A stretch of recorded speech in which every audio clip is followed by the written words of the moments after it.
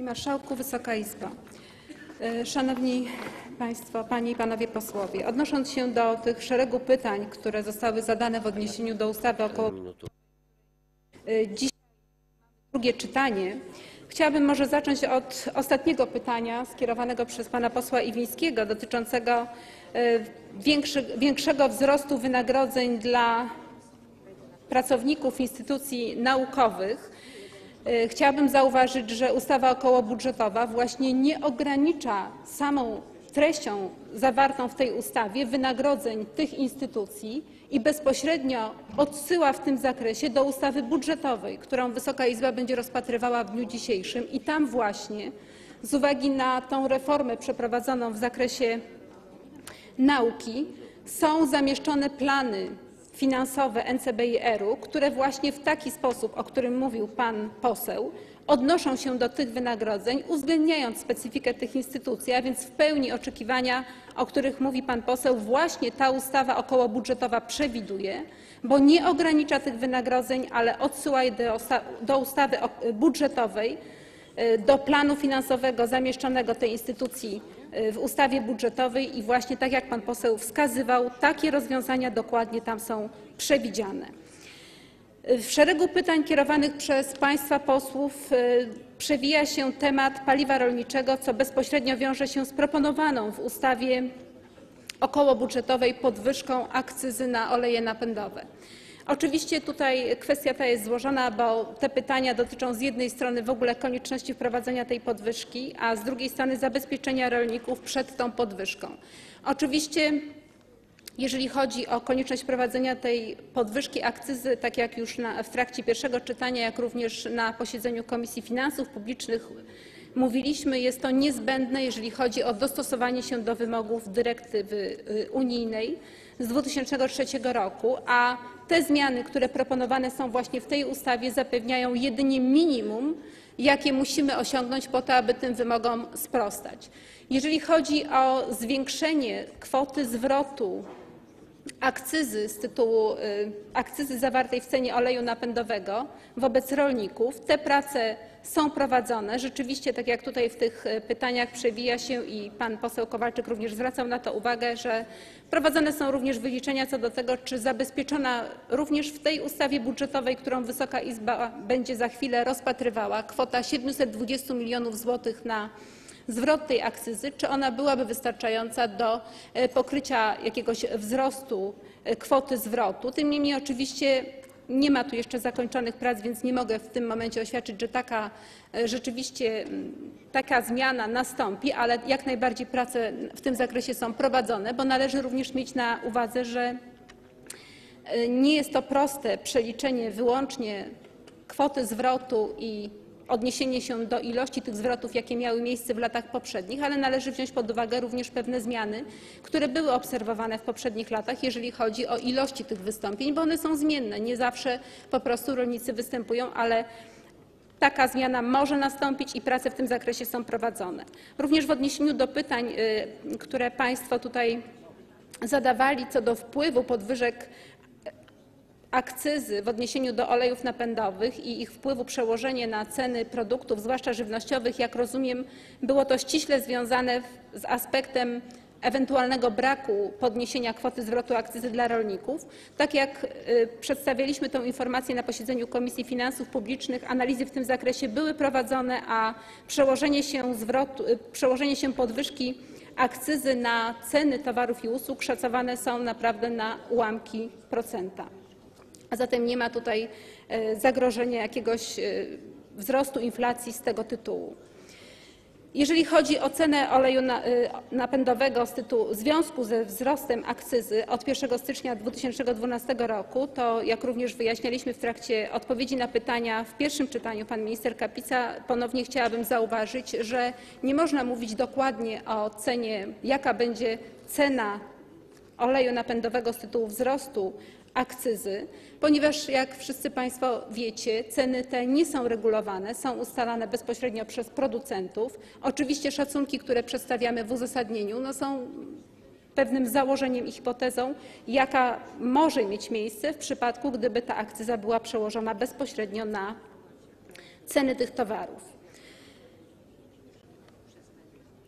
Odnosząc się do pytania dotyczącego wynagrodzeń, jeszcze kontynuując y, może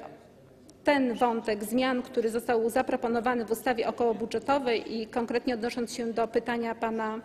posła Kowalczyka co do zasadności i w ogóle celu zamieszczania w ustawie okołobudżetowej uprawnienia dla ministra finansów odnośnie możliwości wyrażenia zgody na podwyższenie tych wynagrodzeń i ta zgoda byłaby dokonywana y, przez y, ministra finansów.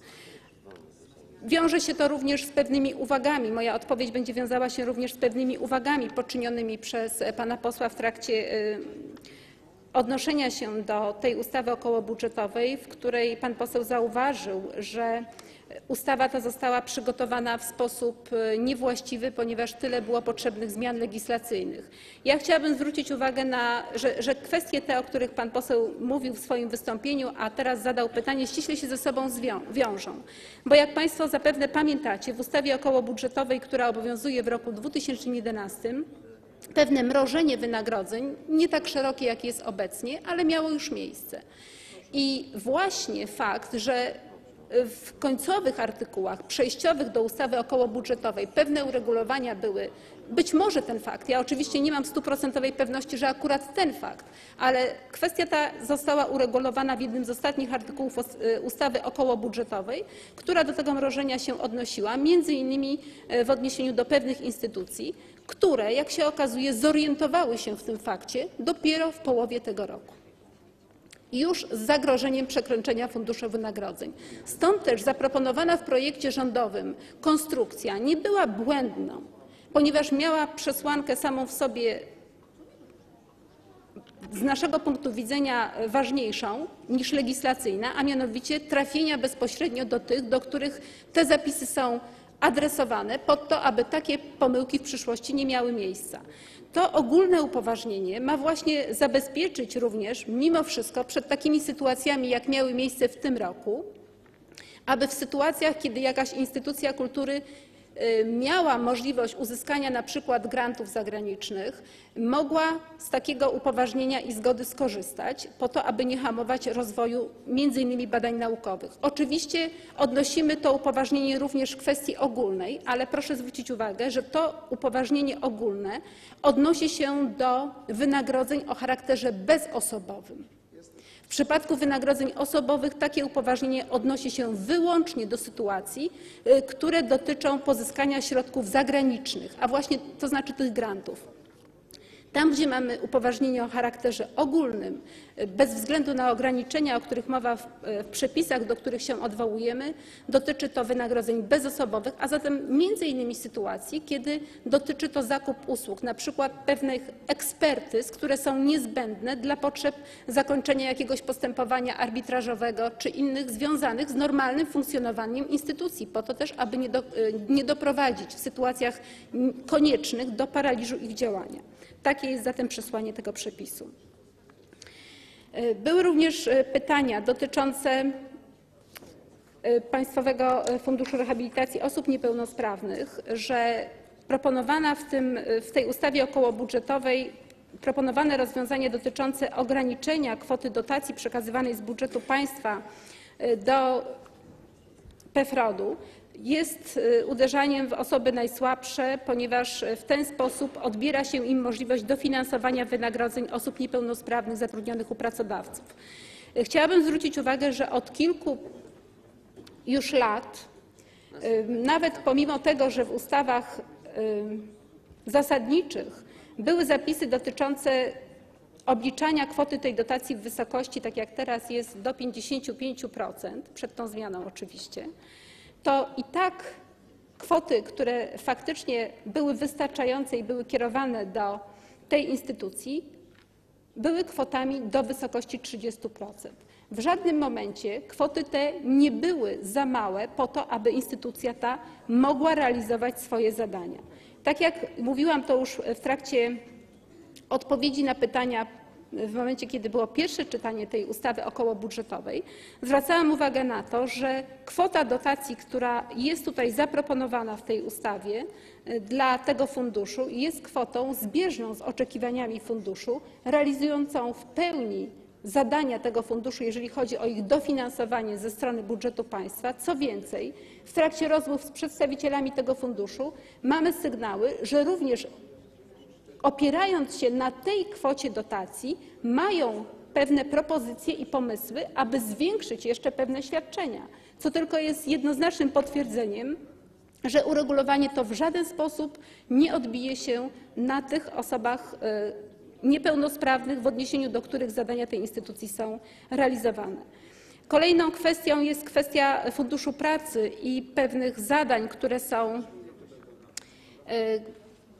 umiejscawiane, jeżeli chodzi o ich realizację i pokrywanie kosztów związanych z realizacją tych zadań Funduszu Pracy, to jest e, finansowanie staży lekarskich i e, pielęgniarskich właśnie z Funduszu Pracy. Oczywiście zwróciliście Państwo na to uwagę, że w ustawie okołobudżetowej planuje się tutaj również rozwiązanie o charakterze rocznym. Oczywiście, że nie można abstrahować od tego, że takie rozwiązanie o charakterze incydentalnym jest proponowane od kilku lat. Tym niemniej w momencie, kiedy było proponowane po raz pierwszy i te ostatnie lata y, są latami y, wyjątkowymi, kiedy tak naprawdę sytuacja finansowa w Europie i również konieczność zabezpieczenia y, finansów publicznych w Polsce wymusza posunięcia, które umożliwiałyby właśnie takie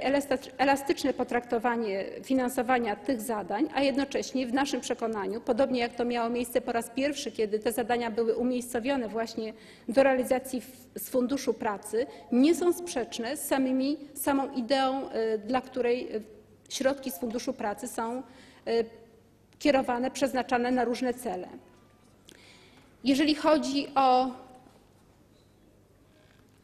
środki Funduszu Pracy i kwestie związane z tym, że y, Fundusz Pracy ma oczywiście dobrą sytuację finansową, bo te środki są środkami pochodzącymi od pracodawców, a jednocześnie ograniczenia, które następują w odniesieniu do kwestii związanych z, z wydatkami na aktywne formy walki z bezrobociem, to chciałabym tutaj zwrócić uwagę, że pewne rozwiązania, jak również to